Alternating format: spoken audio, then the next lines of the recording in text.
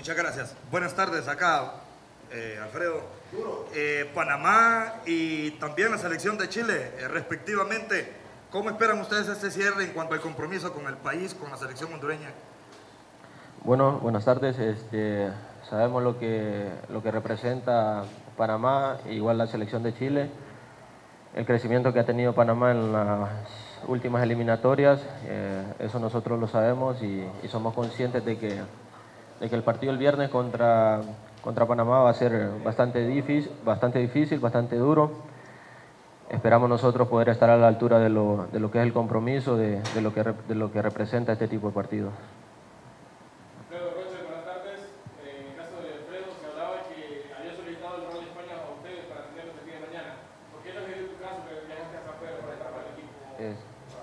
eh, buenas tardes. Este, acumulé cu- cuatro Marías y eh, lo cual no, no puedo ser partícipe de ese partido.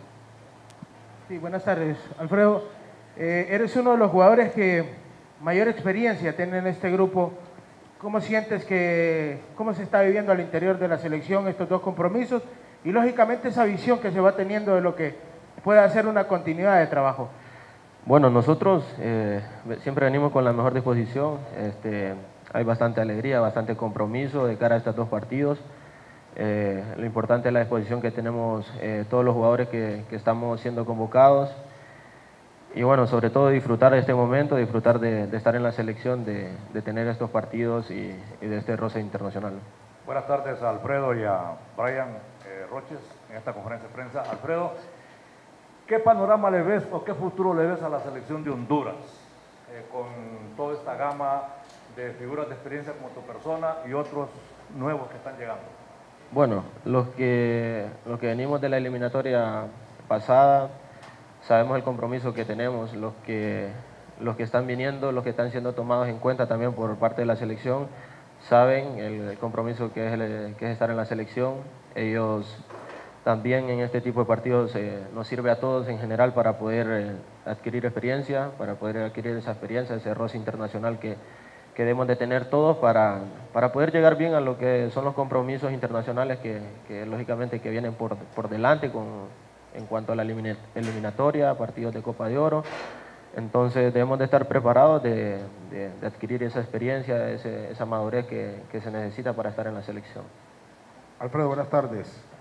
A esa gente que no siente motivación en este momento por acuerpar a la selección nacional, porque no hay técnico oficial, porque no se habla de un proceso, eh, ¿qué le diría? Y la otra pregunta, el cuestionamiento sobre todo a usted por el bajo rendimiento, unos cuestionan su convocatoria, otros cuestionan que, que está bien. ¿Cómo lo ha asimilado? Bueno, la gente que, que debe acuerpar a la selección simplemente se le pide el apoyo en general. Y después, en cuanto a la segunda pregunta, yo en general a mí no me, no me compete responder si, si tengo que estar o no aquí. Yo simplemente sigo trabajando en el equipo. Eh, creo que la eliminatoria pasada dejó claro lo que, lo que representa estar en una selección y, y eh, estuvimos a la altura, que es lo más importante. Se peleó hasta el final, que, que es lo que se buscaba, se buscaba una clasificación. Demostramos lo que, lo que es estar en la selección, lo que es sudar la camisola. Buenas tardes, la pregunta es para ambos. Respecto a, quién va a ser el técnico definitivo de la Selección Nacional de Honduras, ¿ustedes preferirían que se le diera la oportunidad a un técnico local o a alguien internacional? ¿Qué piensan al respecto?